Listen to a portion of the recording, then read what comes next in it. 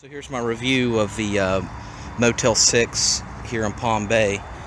I'll put the address in the um, description, but went and got my coffee this morning. Very, very affordable place. So normally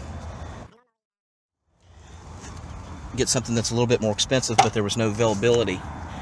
And I originally looked at the reviews of this place weren't great what I saw online, but I think a lot of them are um, maybe competition or something because I had a very good experience at this place. It um, um, it is dated as far as there has been no you know modern or new renovations, but it's super super clean.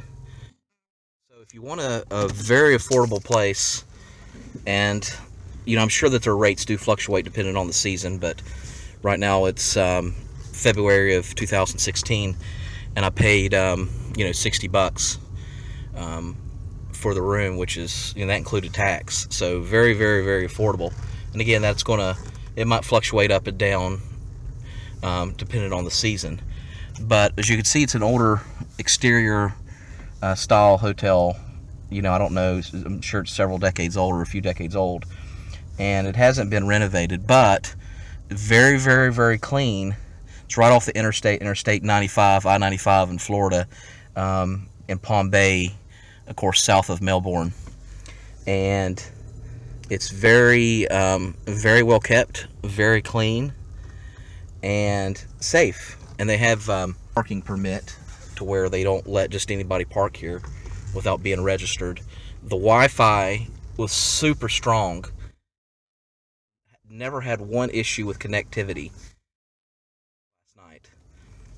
and it was extremely fast. So that's a huge thing with Wi-Fi. I think they charge, I think it was like a couple extra bucks they charge for Wi-Fi, but very, very good uh, value.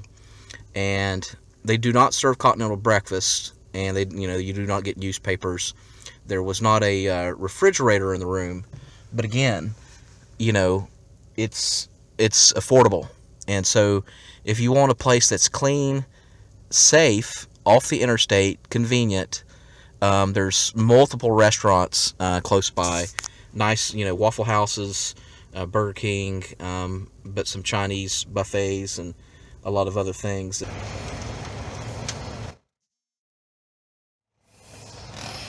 Okay, so I stayed here. I stayed here last night, so it is a little bit, um, a little bit dirty. But you can see there, you got your little office desk. Uh, beds are comfortable and of course they got a TV. Of course, it's not a modern TV, but that's okay. As you can see, the you know the it's not been refurbished in years. It's um, you know has repairs on it. That's not posh, but it's still um, clean. And keep in mind, this is after using it this bathroom for you know last night.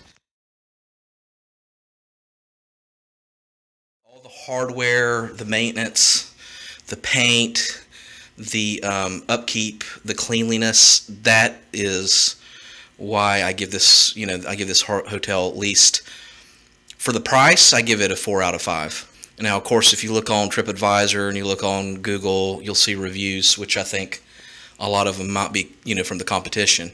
My experience is that it's, the three things is it's affordable, it's clean, and it's safe.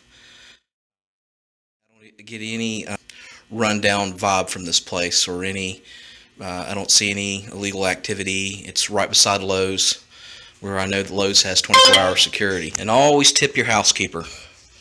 They work really hard. I wish I could do more than that, but